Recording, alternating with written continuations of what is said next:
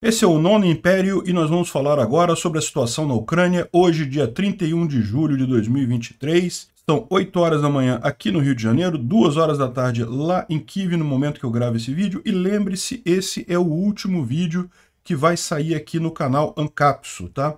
A partir de amanhã, os vídeos saem exclusivamente lá no canal Non Império. O link está na descrição aqui. Eu espero que vocês continuem assistindo os vídeos por lá. Não, não deixe de se inscrever, de acionar o sininho direitinho. Já está tudo pronto lá. O vídeo de ontem já saiu primeiro lá para depois sair aqui no Ancapso. O de, no, o de hoje, de novo, deve sair primeiro lá, depois aqui no Ancapso. A partir de amanhã, sai só lá, tá? Então eu aguardo vocês lá. Aqui na Ucrânia, os russos fizeram um grande ataque em Kryvyi atingiram um prédio, infelizmente teve cinco mortos, um monte de feridos, inclusive entre os mortos uma criança de 10 anos. Muito triste a notícia. Destruíram um prédio aqui na cidade. Mais uma vez, um ataque a um prédio residencial sem nenhum propósito, sem nenhuma preocupação com vidas civis. Né? Mais um crime de guerra russo aqui. É, houve também ataques ucranianos aqui na cidade de Donetsk. Né? A cidade de Donetsk teve ataque ontem com artilharia e hoje novamente com artilharia aqui. Né? Os russos estão dizendo que retomaram Staromayorsk, o que é falso. A gente já falou sobre isso ontem. É muito comum da propaganda russa. De fato, os russos fazem contra-ataques. Eles estão tentando retomar Staromayorsk. Isso é normal, é esperado. Mas não, é pura propaganda russa. Não retomaram nada aqui. E ao contrário, nas, uh, aqui no norte, onde eles efetivamente haviam avançado, lembra que a gente falou aqui sobre a cidade de Nadia Serivka e Novo Hierohivka, nessa região aqui que tinham sido tomadas pelos russos, os ucranianos retomaram Nadia, já, já liberaram no, Novo Hierohivka e agora a batalha por Serivka está acontecendo. Então já, os ucranianos já conseguiram parar esse avanço russo aqui. O mais importante é isso, tá? porque essas cidades não são estrategicamente importantes. O mais arriscado aqui era justamente os russos conseguirem um avanço significativo aqui, talvez chegar a Borova ou ao rio Oskil aqui. Isso seria realmente muito ruim para os ucranianos, mas não aconteceu. Os ucranianos já estão, já estão expulsando os russos daqui novamente. Né? Lá na Geórgia, o problema com os navios é, russos de, de turistas aumentou. A Geórgia é esse país aqui, é um país que também está uh, ocupado pelos russos, na mesma história de, entre aspas, repúblicas separatistas e coisa e tal. Não tem república separatista coisa nenhuma, o que tem é o exército russo invadindo a Geórgia. E, infelizmente, os georgianos escolheram um governo pró-Rússia lá na Geórgia, então uh, os russos voltaram a fazer turismo na Geórgia e coisa e tal.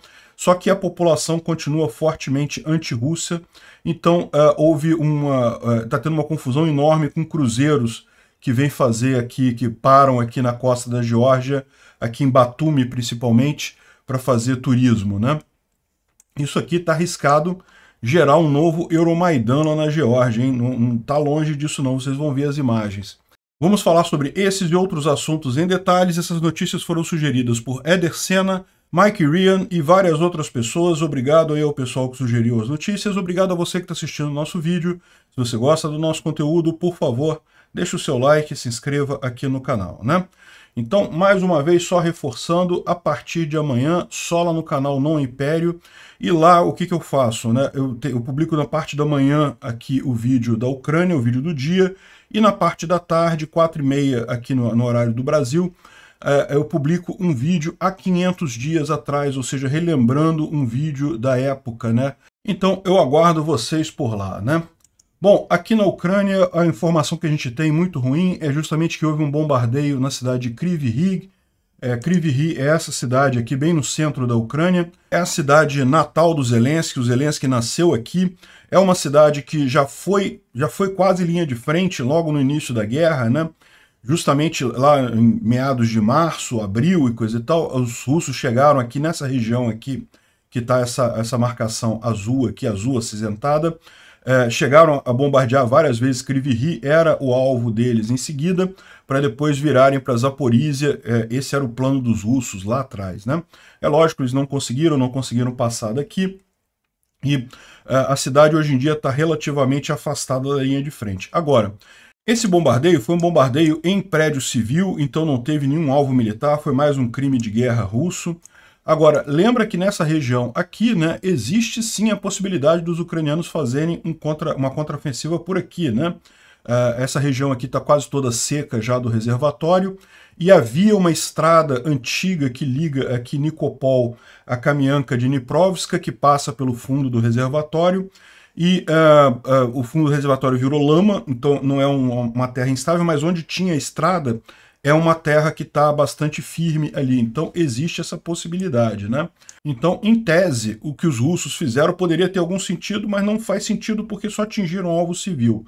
Só teve coisa aqui, apartamento destruído, olha só, esse apartamento aqui abriu um buraco enorme, apartamento residencial, é, infelizmente, e é, inclusive o apartamento está tá, tá em uma situação de risco, o, as operações de salvamento estão acontecendo ainda nesse momento, o pessoal tentando apagar os incêndios ali. É, aqui, ó, parece que teve cinco mortos, aqui ele está dizendo que subiu para quatro, mas já tem informação de mais um, então são cinco mortos, inclusive uma criança de 10 anos e 43 outras pessoas feridas nesse ataque aqui, mas pode ainda ter gente debaixo dos escombros, né? E aqui nesse momento aqui, ó, foi o momento que é, é, desabou mais um pedaço do prédio lá. No momento que os bombeiros estavam fazendo o salvamento, desabou mais um pedaço ali. Realmente uma situação muito instável, ali é um risco enorme você fazer salvamento numa situação dessa, né? porque o prédio está certamente muito instável ainda. Por outro lado, você tem que tentar tirar as pessoas, né? Porque se alguém já está ali preso nos escombros desse jeito, se acabar de demolir tudo, vai ser ainda pior, né?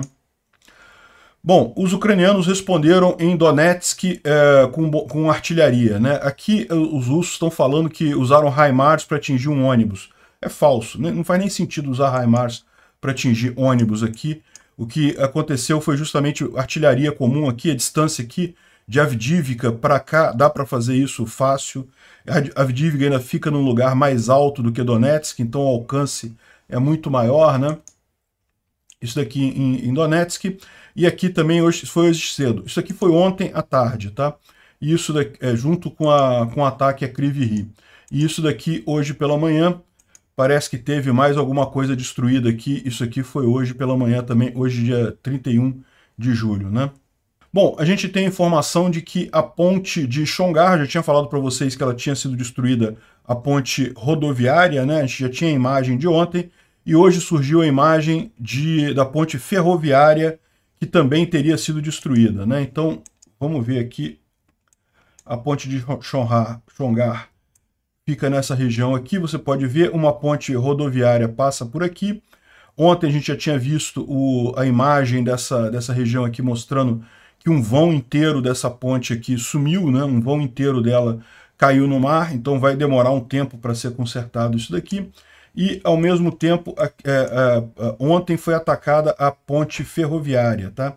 A ponte ferroviária, a linha ferroviária, ela vem aqui, ela atravessa aqui através dessa outra cidadezinha, né? E aqui também tinha uma pontezinha, e essa ponte é justamente o que uh, foi atingido. Aqui, ó, dá para ver aqui, ó. Aqui o normal, a passagem aqui, se você olha aqui, uma passagem que está em aberto aqui, está faltando uma passagem e um trem esperando aqui ainda por cima, né? Ou seja, dá para ver que realmente uh, houve destruição aqui na linha férrea nessa região aqui, né? Ou seja, como a gente colocou ontem, os ucranianos fecharam essa porta aqui. Ainda tem a passagem aqui, mas eles também estão atingindo essa passagem aqui por Armiansk. Ainda tem uma outra passagenzinha menor por aqui e a passagenzinha menor ainda aqui por Renichesk, pela, pela restinga de Arbat. Mas é, essas duas aqui são muito difíceis de serem usadas para caminhão, então a logística russa aqui deve sofrer um bocado, né? E uh, lembra o timing da coisa, né? A coisa de algumas semanas atrás, os ucranianos atingiram a ponte de Kerch e a ponte da Crimeia, aproveitaram uh, a, a, confusão na logística russa. Foi justamente o grande avanço que eles tiveram aí alguns dias atrás. E agora provavelmente atingiram essa, essa parte aqui para novamente uh, atrapalhar a logística russa aqui e certamente tentar avançar mais alguma coisa aqui na região, né? Além disso, teve um ataque a Belgorod, né? Uh, dá para ouvir o barulho aqui das explosões, deixa eu tocar para vocês. Uma explosão lá em Belgorod na noite passada, né? Aqui foi em Taganrog. Taganrog já tinha sido atingida pelos ucranianos alguns dias atrás. Agora um outro, um outro, aqui está dizendo que um drone desconhecido caiu no vilarejo de Daga, Daragnivka. Aqui, ó, Taganrog é aqui essa cidadezinha aqui próxima de Rostov-on-Don. E se a gente ampliar aqui, é, uma, é um lugar que tem vários aeroportos, várias bases aéreas aqui. E esse drone supostamente caiu aqui ó, em Daragnovka, essa cidadezinha aqui é, é, próximo a esses, essas bases aéreas por aqui, né? Bom, não se sabe exatamente o que aconteceu ali, tá? O que você tem de informação só é que teve essa nuvem de fumaça lá com uma explosão grande. Aqui está a coisa pegando fogo e é, algumas pessoas estão falando que é próximo desse aeroporto aqui, a base aérea militar de Taganrog, né? E é, é onde os russos guardam, tem muitos aviões, muitos drones também aqui na região, e uh, seria esse o alvo do ataque, né? Mas tem outras pessoas dizendo que uh, houve um. Aqui, ó, algumas horas atrás, a Rússia disse que teve uma série de ataques de drone na região de Briansk, Rostov e na Crimeia, né? E aqui seria justamente um drone que caiu ali em Taganrog. Só que esse drone aqui, que o pessoal está mostrando, ele é um drone russo. Então não dá muito bem para entender o que, que aconteceu, né? Não dá para saber se é, é, pode ter acontecido de um drone russo de reconhecimento, né? Saiu daquele aeroporto ali, estava voltando para o aeroporto, só que a defesa antiaérea russa, é, é, o pessoal está com o gatilho leve, né? Com medo justamente do drone que aconteceu outro dia, derrubaram o próprio drone. Não seria impossível isso, não, não seria a primeira vez que isso acontece, né? Em tese, esses aviões todos e drones têm aquele IFF, né? É, Identify Friend from Foe, ou seja, que diz que é para identificar se é amigo ou inimigo. E, uh, mas já, já aconteceu várias situações disso falhar e eles terem que derrubar. Esses drones são caros, tá? são drones enormes de reconhecimento. Aparentemente foi isso que aconteceu, tá? Não foi um ataque ucraniano aqui em Taganrog, foram os russos fazendo besteira. Mas a gente não sabe, porque pode ter tido um ataque também aqui nos aeroportos, né? Bom, falando sobre a linha de frente, aqui é, são soldados ucranianos mostrando uma trincheira que eles libertaram dos russos ali na região de Robotny, em direção a Melitopol. Né? Não tem é, esclarecendo exatamente onde é que foi. Os ucranianos têm tomado cuidado para não dar informações, mas toda essa área aqui é área em disputa e tem um monte de trincheiras desse tipo que são liberadas o tempo todo aqui pelos ucranianos. Né? Bom, aqui na região de é, Velika Novossilka, né, é, os russos estavam falando que, aliás, já estavam falando isso ontem, né, que representantes da, da ocupação russa disseram que Staromayorsk está controlada pelos russos, que os russos retomaram Staromayorsk. A gente já falou isso ontem. Sim, os russos estão tentando retomar Staromayorsk, é normal, foi a mesma coisa com Makarivka, tentaram fazer vários contra-ataques, mas não conseguiram não, tá? No momento, ainda a cidade está na mão dos ucranianos, pode ser que exista ainda algum vai e vem aí, isso é normal nesse tipo de situação, mas no momento eles não tomaram nem uma polegada de lá, tá aqui, ó. Isso aqui é uma própria, uma fonte dos russos mesmo, dos soldados russos lá do 30 do 305º Regimento de Artilharia, olha só. O inimigo está muito bem assentado dentro do vilarejo. Todo dia no Notable Point, né, NP, a sigla de ponto notável, né, o ponto que eles estão discutindo aqui. Aviões inimigos e artilharia trabalharam, né? Eles jogaram é, bombas de cluster, bombas fragmentantes e, e gás de pimenta, o, o, gás lacrimogênio. Uma situação muito perigosa. O 305º Regimento de Artilharia, nessa condição, não foi capaz de fazer contra-bateria Staromayorsk ainda está completamente sobre o inimigo, né? Tá, o, inimigo ainda domina é, Staromayorsk completamente.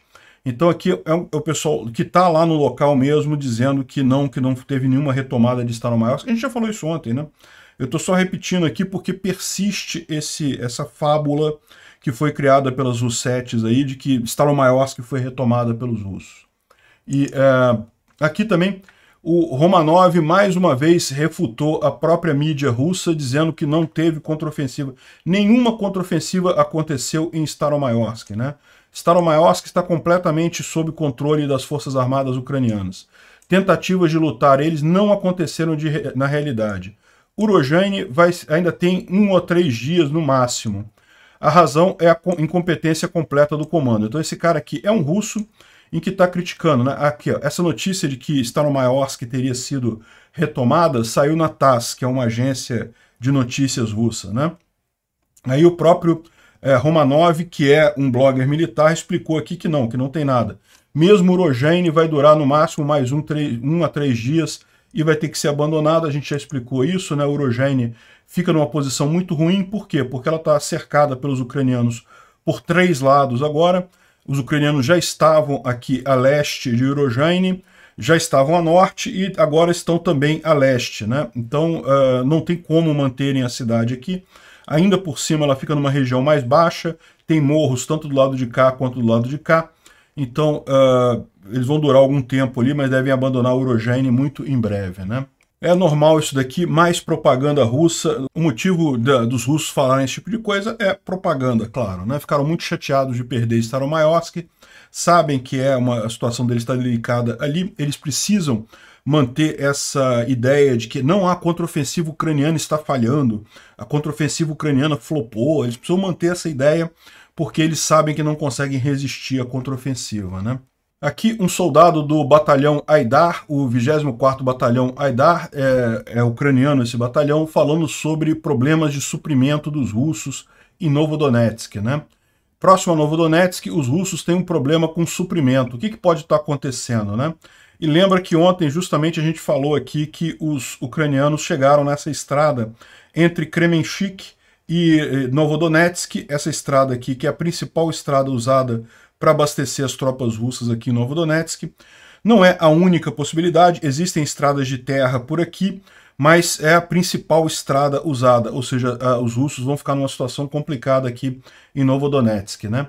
Então, como a gente falou ontem já, a expectativa é que nos próximos dias a gente veja a queda de Novo Donetsk, Urogene e Priutne. Não vai ser fácil, não vai ser rápido, não vai ser amanhã ou depois, mas em algum tempo a gente vai ver isso acontecer e, uh, e as batalhas devem, devem se concentrar justamente aqui em Starolinivka e Kremenchuk, fazendo essa nova linha aqui de defesa russa, né? Agora, uma excelente notícia que a gente teve foi justamente lá no leste, né? No leste, próximo de Svatov, vocês lembram, houve um avanço é, é, russo ali na região. Eu falei para vocês que a gente estava preocupado com isso. Vamos ver aqui no mapa para relembrar exatamente onde é que é.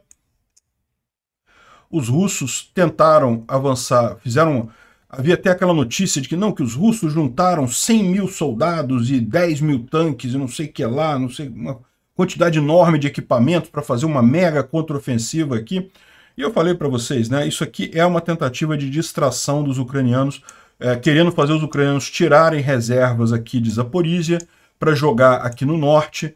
É, os russos não têm capacidade. Eles tentaram uma mega contraofensiva no inverno e não conseguiram também aqui, né? Tentaram em vários pontos. Tentaram aqui em Kupiansk, tentaram mais aqui em Nizhny Duvanka, tentaram aqui em Svatov, tentaram incriminar. Incriminar eles conseguiram avançar alguma coisa, mas foram parados.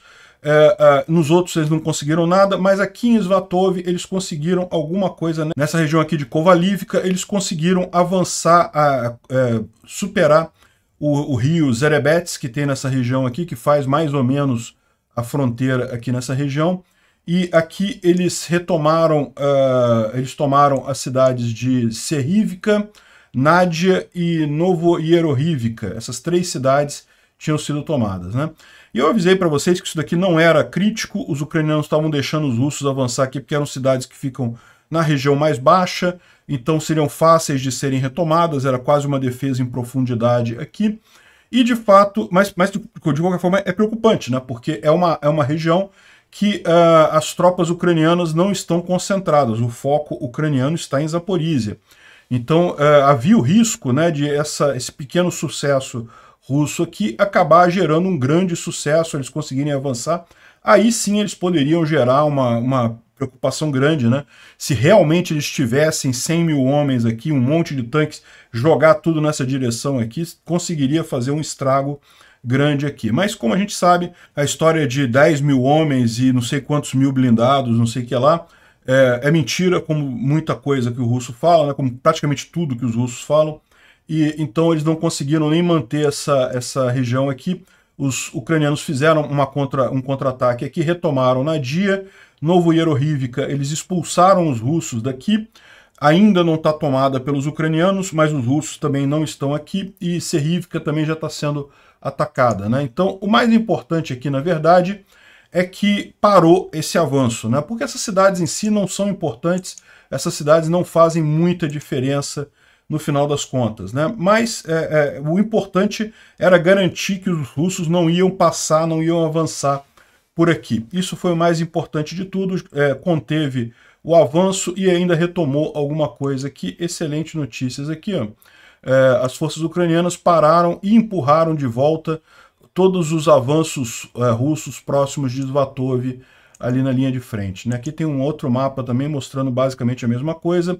Serrivka ainda está na mão dos russos, mas Nadia e Novoyerorivka é, já estão na mão Nadia já está na mão dos ucranianos, Novo Hierohivka está sendo disputada aqui, já está na zona cinza. Né?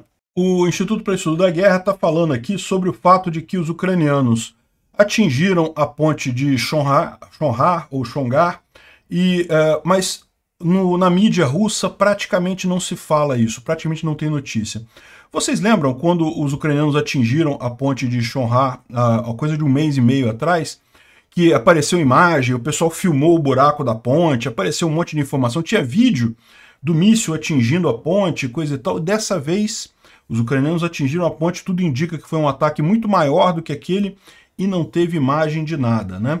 E o que ele está falando aqui é que isso sugere que os, o Kremlin, né, os russos, estão evitando que os bloggers militares divulguem esse tipo de informação. E aparentemente conseguiram. Os ucranianos estão falando da ponte de Shonhar, Uh, tem algumas tem alguns, algumas notícias por aí, mas em termos de, de vídeo, de chamar muita atenção na mídia russa, ninguém está falando. Por que isso? Bom, o motivo é óbvio, né? Lembra o que aconteceu quando teve o ataque na ponte de Kerch depois? Que os, uh, uh, o pessoal. Aqui, a Crimeia está cheia de turista russo nesse momento. É o verão lá no hemisfério norte. Então o pessoal está aproveitando a, a região da Crimeia. É uma região turística, tem praias belíssimas ali. Então o pessoal tá, tá cheio de russo aqui nesse momento, né? Com o ataque à ponte da Crimeia, os russos ficaram apavorados engarrafaram todas as vias aqui, e isso sacaneou muito o suprimento logístico dos russos ali na região. Eles não podem usar trens, então eles estão usando muito uh, o transporte rodoviário, e com os turistas todos atrapalhando, acabou atrapalhando muito a logística deles, né? Então, aparentemente, é, esse era o objetivo, não dar publicidade ao fato de que, bom, a essa altura do campeonato, o pessoal está basicamente preso dentro da Crimeia, né? Não tem para onde ir mais, porque a ponte de Kerch ainda não tem, não tem o, tráfego restaurado totalmente. Aqui em Armiansk também já tem, já tem bombardeio, já tem problema para passar ali. Shonghar já tem problema também, ou seja, quem está na Crimeia aqui, nesse momento já está preso, né? É, é, lógico, a gente imagina que em algum momento os russos vão consertar as pontes aqui, isso sempre vai acontecer. Aqui na, na, na ponte da Crimeia também, em mais algum tempo, eles vão consertar a ponte da Crimeia, mas neste momento já é uma grande prisão a Crimeia e já dá uma ideia de qual vai ser a estratégia ucraniana para retomar a Crimeia. É exatamente essa, né? É, é, usaram aqui, é, bombardear aqui para tirar a ligação com o sul da Ucrânia, bombardear o Estreito de Kerch e simplesmente vai ser impossível para os russos manterem a ocupação da Crimeia. Mas os turistas é ainda pior, então é melhor que os turistas russos nem fiquem sabendo que eles estão prisioneiros dentro da Crimeia, né? Porque senão eles vão querer sair, é, voltar para casa, vão acabar engarrafando a coisa toda, vão acabar piorando a situação para a logística russa. Neste momento, talvez a única maneira deles saírem fosse justamente aqui por Armiansk. A gente não sabe como é que está a situação aqui, se está passando o carro, se não está passando, ou por essa outra estradinha de chão que tem por aqui. E é, imagina todos os turistas que normalmente usam estradas enormes para chegar e sair da Crimeia, todo mundo tendo que passar por uma cidade, por uma estradinha de chão pequenininha, né? Ia ser um caos para a logística russa. Bom, encerrou lá em São Petersburgo o encontro uh, Rússia-África, né? Lembra que durou aí alguns dias, teve um monte de notícias aqui que a gente falou sobre isso. E olha que curioso, três participantes desse encontro Rússia-África foram roubados em São Petersburgo. É, convidados de Gana, Argentina e Burundi. Olha só, tiveram valores roubados durante o encontro lá, né? Para você ver a situação lá em São Petersburgo, né? Eu aqui no Rio de Janeiro não posso falar muito, porque infelizmente no Rio de Janeiro volta e meia ainda tem também turista roubado por aqui. Mas na Rússia o pessoal tem aquela ideia de que é primeiro mundo, não, é bacana e coisa e tal. Não, não é. É um lixo de país, é, é um terceiro mundo da Europa, a Rússia, né? Bom, o propagandista russo, o Givov, ele está falando aqui que é, ele tem fontes que dizem que os, uh, os cidadãos britânicos acreditam no isolamento da Crimeia. Olha só. Amigos trabalhando em atividades econômicas no exterior me disseram como a situação com a Crimeia, com as pontes da Crimeia, é vista lá na, na Inglaterra. Né? As pessoas têm plena confiança que a ponte será destruída e a Crimeia está em isolamento, sem água, comida e gasolina. Os russos estão a, a, a ponto de serem derrotados e, e, e terem um ataque de nervos. Né?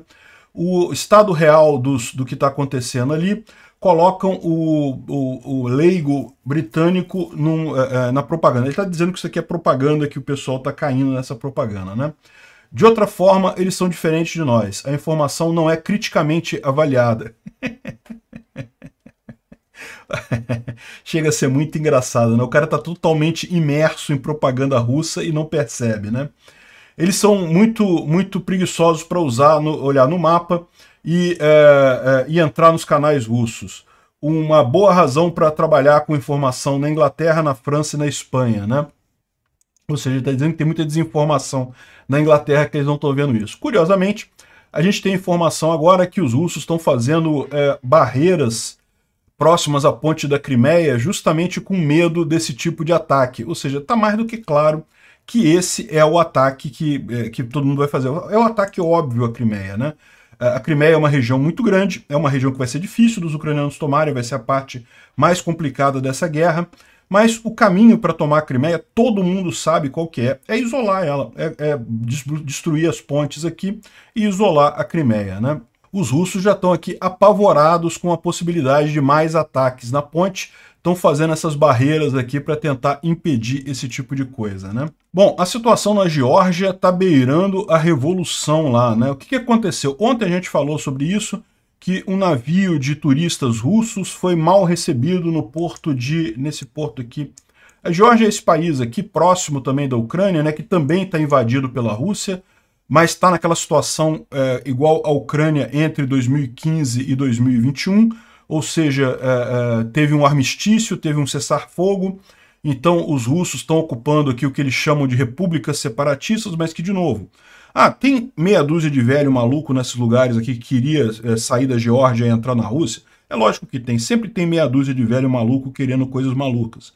A questão é, havia um movimento separatista armado, o pessoal querendo brigar por separatismo? Não, não havia aqui. Da mesma forma que não havia na Transnistria, não havia no Donbás, não havia na Crimeia, não havia em lugar nenhum. O que tem é justamente os russos invadindo essas regiões e dizendo que, ah não, estamos aqui com os separatistas, são separatistas que estão querendo fazer isso, enfim. Então a, a Geórgia, em tese, está em guerra com a Rússia ainda, né? E uh, tem esse porto aqui de Batumi, que é um porto muito importante. A, a Geórgia tem um litoral muito bonito também, aqui na região do Mar Negro, né? é muito visado durante os meses de férias e uh, as linhas de turismo russas passam por ali, né?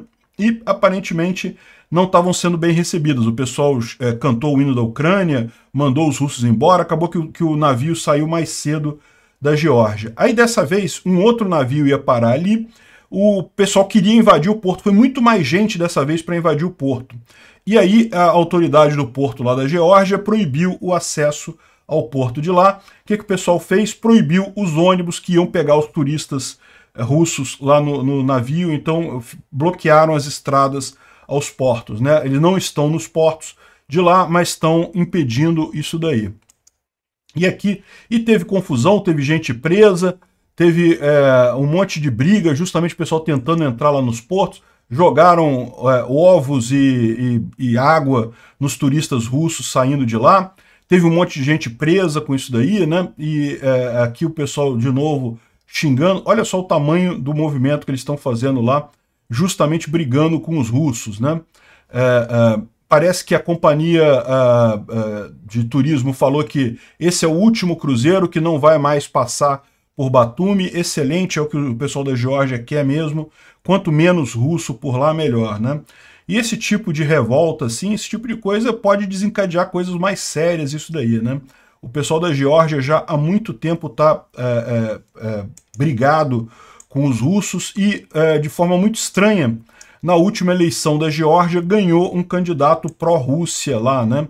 Então, olha só a situação, né? Aquela velha história da influência russa nas eleições, que na Ucrânia teve claramente né, tentativa de influência e coisa e tal. Pode ser que tenha havido a mesma coisa aqui na Geórgia e pode ter levado a essa vitória desse candidato pró-Rússia ali, né? Então a população lá não está muito satisfeita com a situação, não. Esse aqui é o exemplo mais, é, mais bacana, que é a foto mais bacana dos georgianos falando para os cruzeiros russos. Bom, uh, parece que vai começar uma negociação bilateral entre a Ucrânia e os Estados Unidos, visando garantias de integridade territorial entre o fim da guerra e a entrada da Ucrânia na OTAN. Ou seja, isso é uma coisa positiva, porque já mostra um caminho para a Ucrânia entrar na OTAN. Uma vez encerrada a guerra lá da Ucrânia com a Rússia, os Estados Unidos vai garantir a segurança da Ucrânia até ela entrar para a OTAN, até cumprir todos os requisitos para entrar para a OTAN, né? É um, um bom caminho isso.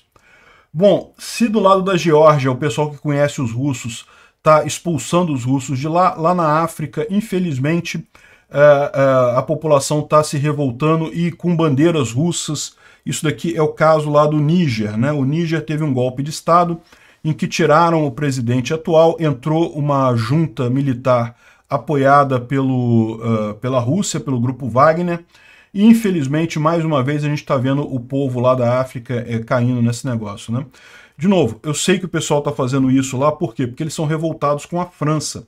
E, de fato, a França ainda explora muitos países ali na África. Né? Aquela moeda que tem o franco suíço, como é que é? O franco africano, é, que é, ainda é uma moeda de muitos países por ali, acaba dando muito, muito poder à França nas antigas colônias que ela tinha ali na África. Né? Agora, o caminho para sair dessa situação, é lógico, é brigar com a França, mas não é se submeter à Rússia. Né?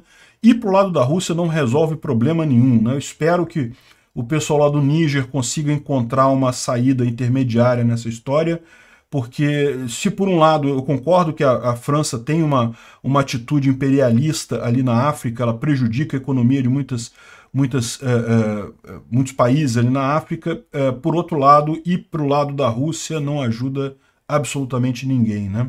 E, bom, parece que os ucranianos estão fazendo a troca desse brasão lá da estátua, né?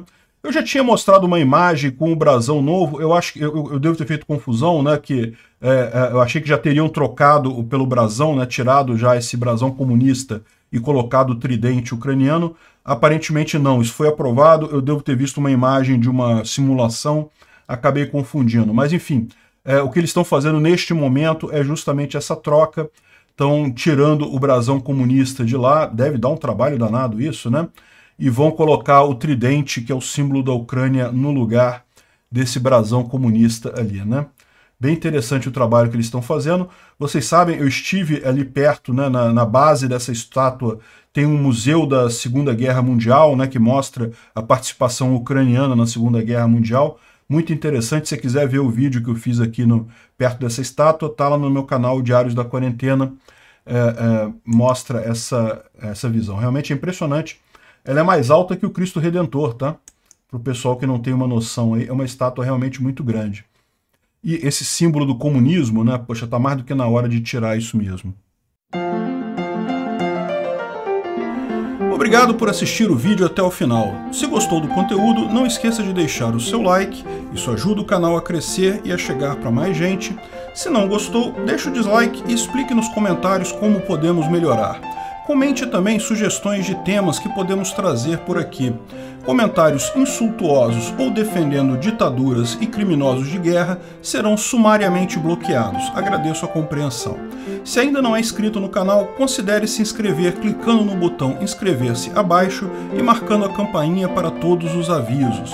Se quiser ajudar o canal, veja no nosso site como você pode fazer isso.